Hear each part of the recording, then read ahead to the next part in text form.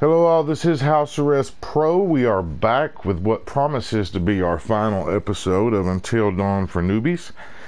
So, yeah, I'm going to try to wrap this thing up today. Uh, again, because we found all of the clues on the twins, uh, the Wendigo who popped up in front of Josh there at the last uh, on the last episode in the ending recognized him, uh, and he recognized her as being a Hannah, the Hannah Wendigo. Uh, so she did not kill him. So at this point, we still have everyone alive. We're going to try our best to keep it that way. Thank you so much for tuning back in. Let's uh, get this kicked off, shall we?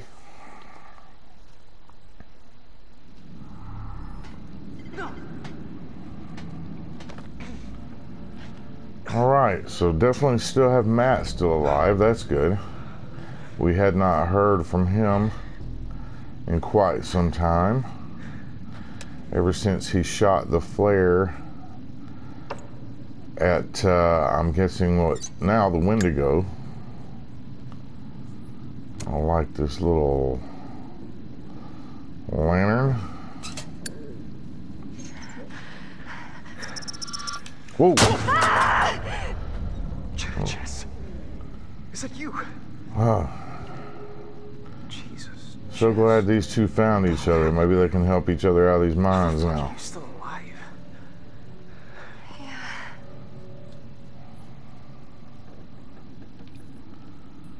How did you end up down here?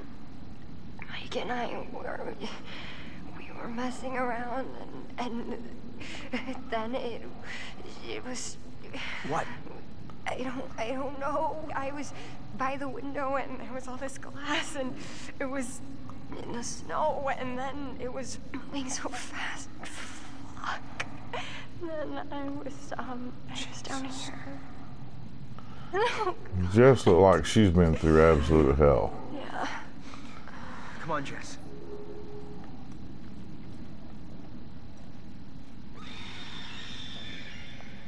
Alright, let's see, girl, if we can't help each other out of this little hellhole that we're in here.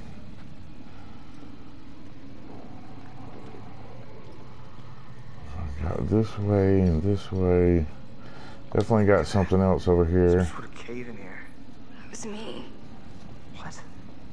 I fell through that roof. You fell this far? Jesus. There's two of us. What? I fell off a goddamn fire tower down here. You're kidding me.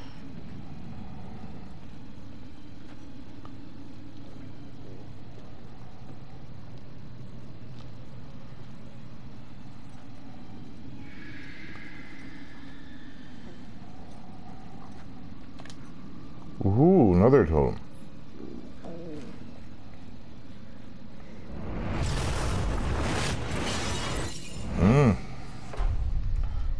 Burning. It looked like might, but I'm not really sure.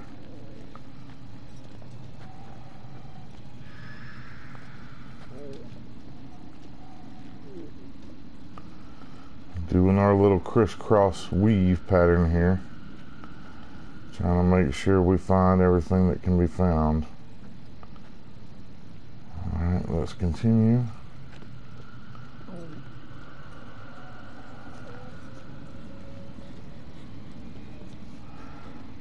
Definitely not out of this safely yet. That we could still have numerous people die, so you gotta play this game correctly.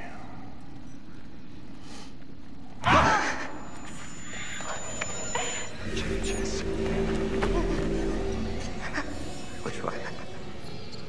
Uh, run ahead, hide. Let's hide.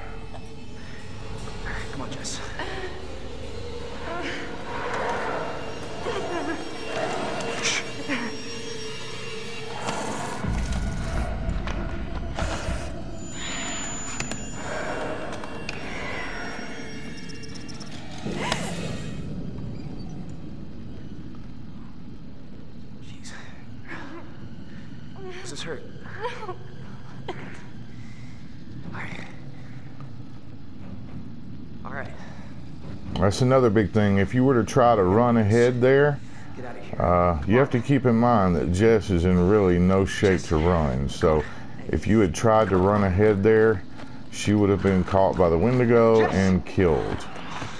Jess, come on. So very important decisions being made here. Again, you don't want to abandon her, you want to hide with her.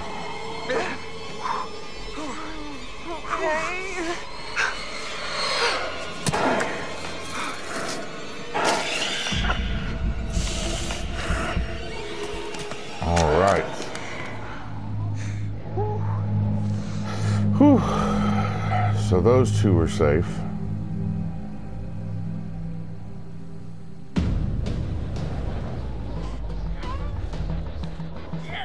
Sam's still trying to climb her way out of this joint. Oh, you know we're going the fast route.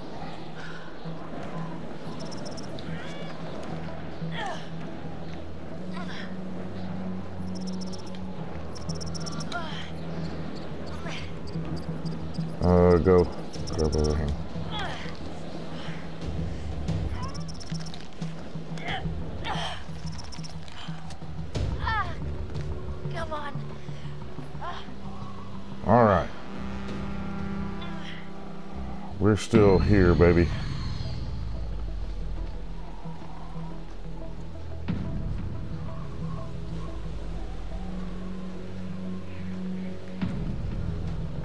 I'm to walk around this way just to make sure we didn't leave anything behind by going to the right instead of to the left, which it doesn't appear that we did. Okay.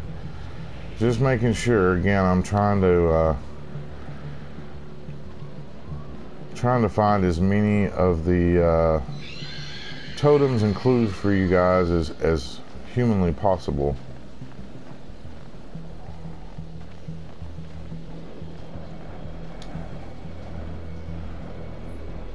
Got another totem here.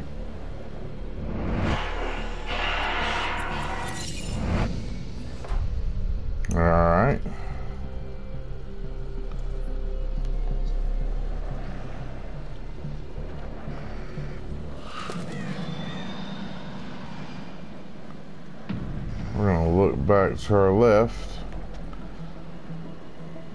Now that we went to the right, we found a totem, so I'm just going to check on our left hand side to see if there was anything to be found over here. don't think we're going to get this game where it's 100% complete, where we've absolutely found everything. Matter of fact, I know we're not because we're missing a couple of clues that we somehow skipped over, and I know we can't go back to find those. So. All right, doesn't appear there's anything over here.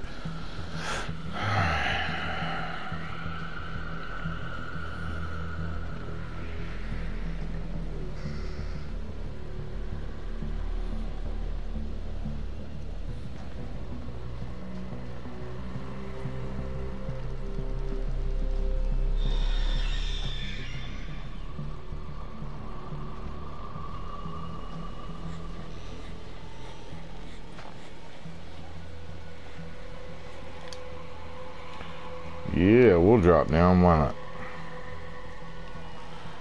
It's only freezing cold water in the middle of a snowstorm.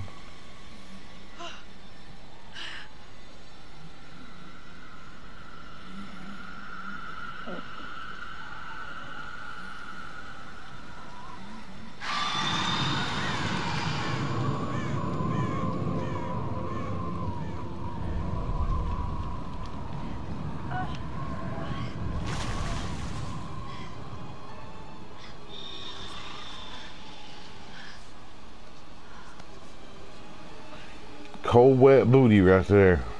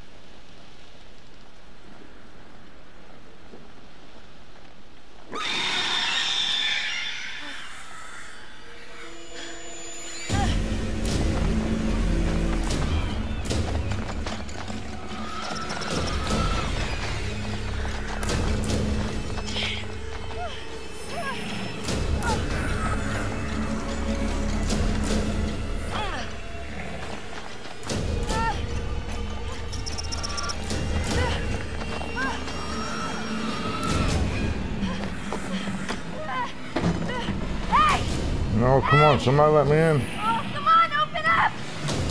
Guys, come on, are you in there? Let me in! Sam, Holy hell. Mike. Oh, gosh. You look terrible. gonna look worse if we stay out here. Come on.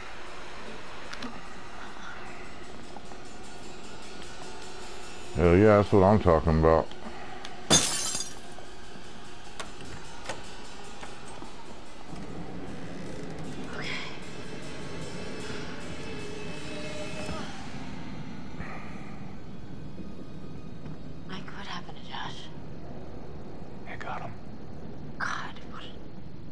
Awful way to go. Not good. Yeah, you're probably right. What do you think we should do? We should check the basement. Might be someone left down there. Alright, you lead the way. As Josh would say, coachies.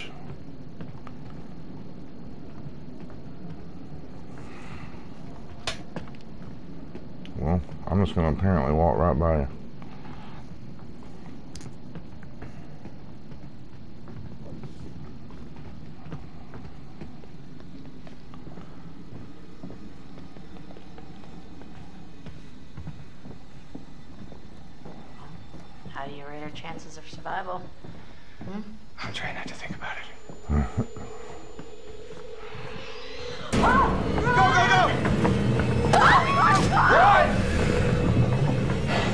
Hell? Uh, lock, lock, lock.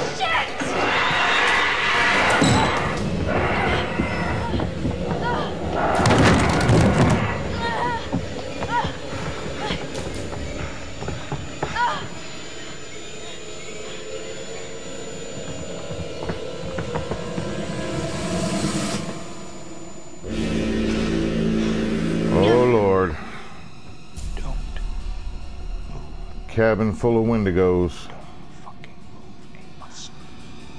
Very difficult, guys, but you gotta not move through all this.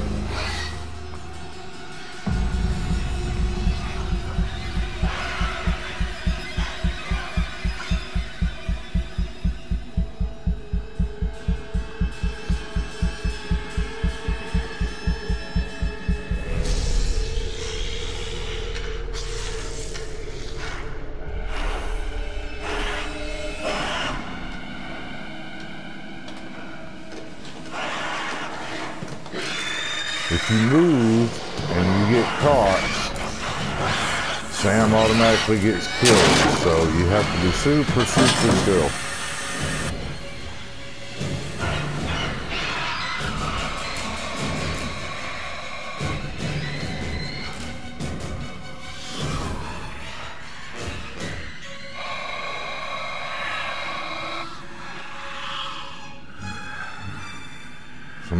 Devising a little plan here. Looks like Sam knows exactly what he's thinking.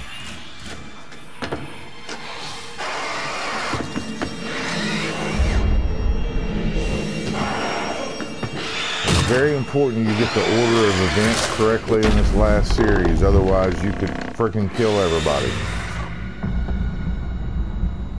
Have to be sure not to move when it says don't move.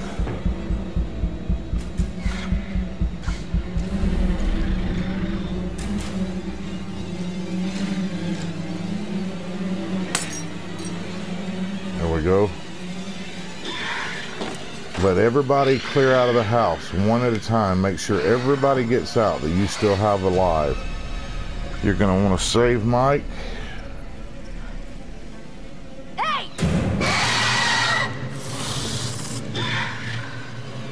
Which is going to allow Emily to run out. Chris is already out. Don't move, don't move, don't move. God, I hate this part. This is nerve wracking. You can fuck up the whole game right here.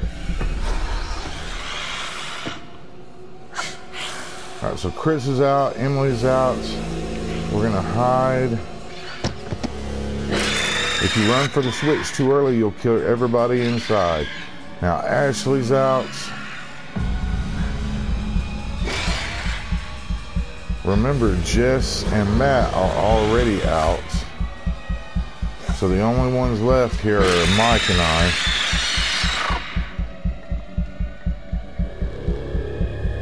Don't move, don't move. Gonna want to hide one more time, which is gonna give Matt or uh, Mike the opportunity to get out. Get the hell out of here, bro.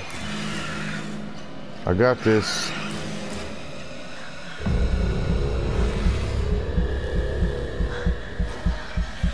And again, one little misstep here, one little movement, she gets caught, she gets killed.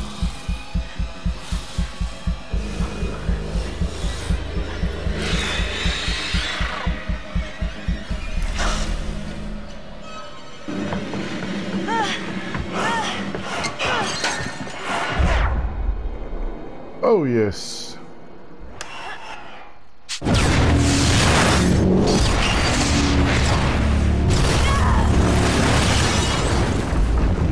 And there it is, ladies and gentlemen. Everyone made it out with their lives.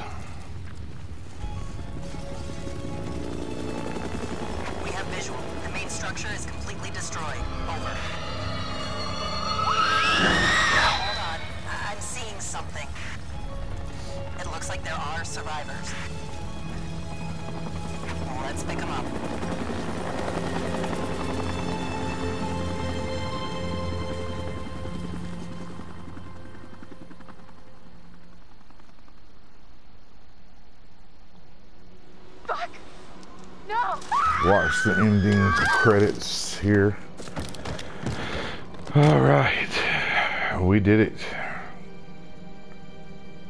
Uh, the old man, I, uh, I, I don't know how to describe him. I mean, You said you thought he was stalking you at first.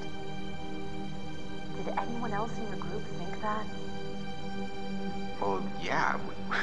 Is it possible they could have killed him? What? No. No, you, you, you- you don't understand. Don't you understand? if he attacked you, He saved my life. And I watched him die. I heard Jessica. I don't know how or why she was down there, I know I heard her. He held it right up to my face. Right here, right in front of my nose, and he Oh, shot God. Me. He almost shot me, the prick. Still You bitching about. a guy for however long, and you think you know him, but man, this one really takes the cake. You're a real piece of work, chick. right There, and I could have done something. I tried to do something. It wasn't good enough. How did you end up in the mines? I was carried and um, taken, and What did you see?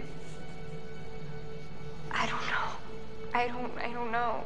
There's your list of cast right there, guys. Hayden Harry, Peter Stormare. He wanted to hurt us. Okay? And I thought he was the one who attacked Jess. I thought we were close. After his sisters disappeared, he'd come and talk to me. He said I was the only one who understood him.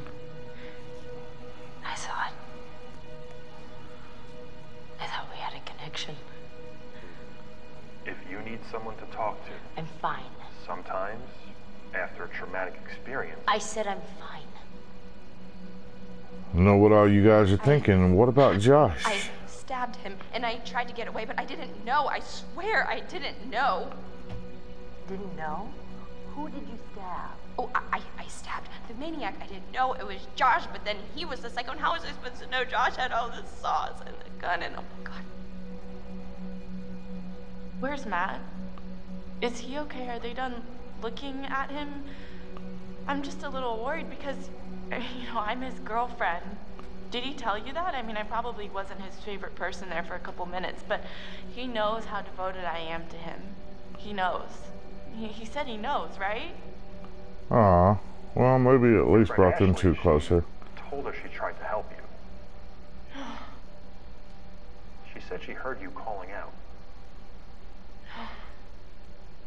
Not me. Mike. What do you remember? He came for me. I did. He did. Came for you? Where is he? Did he make it? So I think if nothing else, it may have Still helped. listen to me. I don't care if you believe me or not. It Doesn't matter because you will. You need to go down to the mines. What's in the mine, Sam? I've seen what's down there. And I'd give anything to unsee it. I think it may have helped uh, Mike and Jess's relationship, and it uh, it may have even helped uh, Matt and Emily's relationship. So that's kind of cool, I guess. Very very cool game. Um, I'm glad it wasn't only a decision-based game. There are some games that you know that's pretty much all it was was a decision i'm glad they added the fast action live action the button pushing deal uh, gave you the ability to control the characters you know as far as walking around and stuff like that it could have very easily been something to take you out of the atmosphere if you didn't have as much control as you did uh, if you get what i'm saying if it was only pressing buttons and making decisions, then that's not as engulfing to me as having it where you can actually control the characters. And they did just enough of that, I think, to keep you to keep you there, to keep you in that situation with them. Again, one of my favorite horror games. Don't know that I would put it in my top five. It would be really, really close to making it in my top five, but definitely, most definitely in my top 10. I love the fact that they had real actors.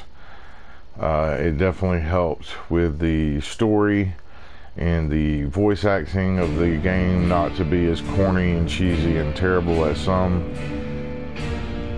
Even though it did kind of have its cheesy spots, like where uh, Mike and Jess are on their way to the cabin and they literally can talk about nothing but, you know, little sexual innuendos. That part kind of gets crazy after a while, but in the end, very well made, uh, good character actors, good storyline. I like the fact that there were actually different aspects of it. So, seems like if you like yes, I'll say it's somewhat predictable in that as you start finding clues and figuring things out, like you're like, oh, I know now Josh is behind it, and da da da.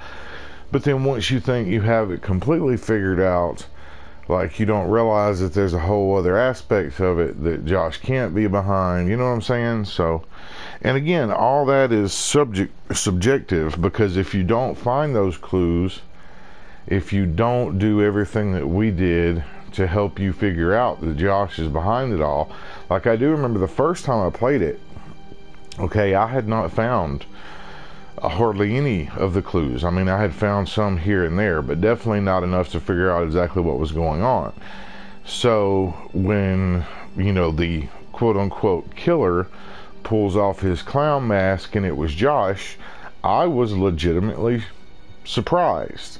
I'm not going to say I was shocked because I did have my suspicions, but I was definitely surprised uh, because I had just not found enough of the clues to lead me to think that, you know, he would have anything to do with that.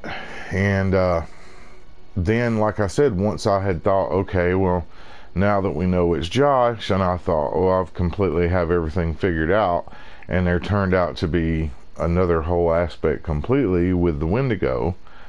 So it, you know, it does it does well at keeping you on your toes. Every time you think you've got it figured out, maybe you don't. And uh, just overall, very good horror game, very well made. I know it was a AAA title. It was supposed to be very well made, but there are times, in my opinion, that uh, AAA titles can have a lot of hoopla behind them before they are released and then let you down, not be nearly as good as they're supposed to be, and not live up to their expectations. Just like there are a lot of times that small indie horror games that, you know, aren't technically supposed to be just great games surprise people and end up being really, really great games, uh, such as like Outlast. I mean, Outlast was not. Outlast was not a game like, you know, your Resident Evils or Silent Hill or even like this. Uh, and it still managed to be one of the best horror games ever made, in my opinion. Outlast 2 right there in the same boat. I think they probably put a little bit more time and development and money behind Outlast 2 because of the success that Outlast 1 had. Um, so, yeah, that's probably one that we'll be playing very soon. It may even be the next series we do. Not exactly sure where I'm going to move from here, but if you've never played Outlast, whew, it is definitely in my top five horror games ever made, probably in my top three.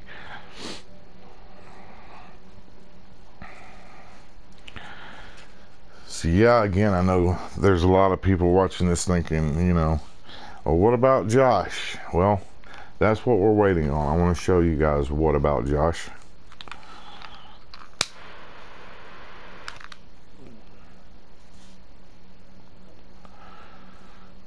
But uh, again, this game, you know, it can be super frustrating because, in my opinion, like especially with the decision that Ashley is faced with when she's down in the mines late in the game, where I told you if you open that hatch, you die. There is nothing really there to warn you that that's what's going to happen uh, if you if you look in that hatch and so I think a lot of people probably did open that hatch and lose Ashley there. And I think that was, I know I did on my first playthrough. And like I said, I know Markiplier did on his first playthrough. So I can only imagine that a lot of others did as well. And to be quite honest, there's just, there's not enough to really warn you that that's a huge decision there. And it's so far into the game that it's definitely enough to piss you off badly uh, if you were to have that happen there. Which uh, I was I was super pissed when it happened to me the first playthrough.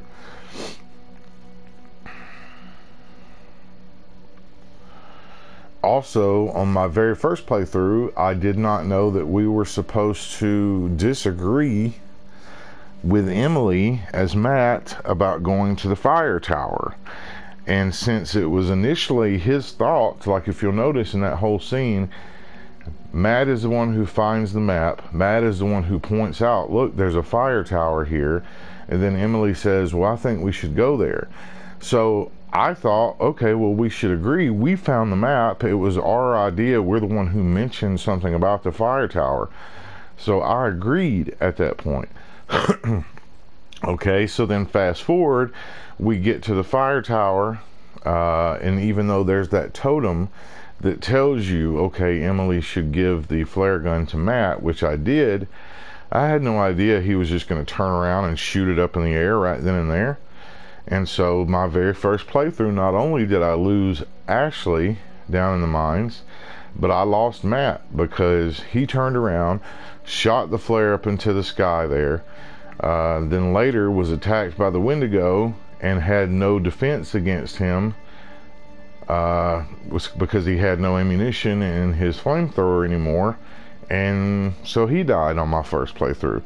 And while I love the idea behind there being, yes, you can lose certain characters here and there and you have to make the right decisions, I hate the fact that there are such uh, little warnings about what decisions you should make. All right, here we go with Josh's story.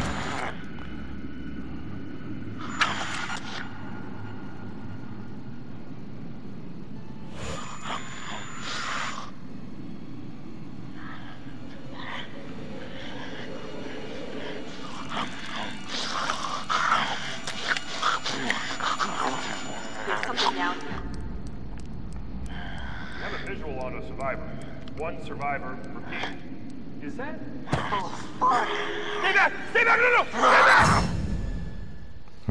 back! so Josh had resorted to cannibalism and began his transformation into the Wendigo. So, but yeah, that's my overall wrap up of the game. Um, like I said, the, the one complaint I have is there's not enough warning as to the decisions you're supposed to make. I would say a good probably 90% of people who played through this the first time not knowing what to do probably lost Matt in some form or another because they either did not hand off the flare gun to Emily, they did not disagree with Emily as far as going to the fire tower, or they turned around once they got up there and shot the flare into the air, leaving him helpless against the Wendigo when it attacks him. Uh, and to me, there's just not enough guidance to, to, let you know that you need to make all those decisions in order to keep him safe. And uh, probably the same with Ashley there down in the basement. Uh, the don't move controls as far as keeping the little blue light in its little area, that is definitely one of the most difficult things to do during the game.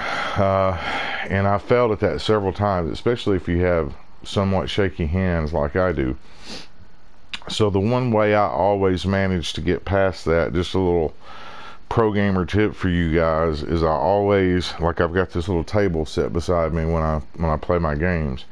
And so when I get to those areas and I know they're upcoming, I'll actually put the controller down right there on the table to make sure that it does not move because it can be difficult. It really can.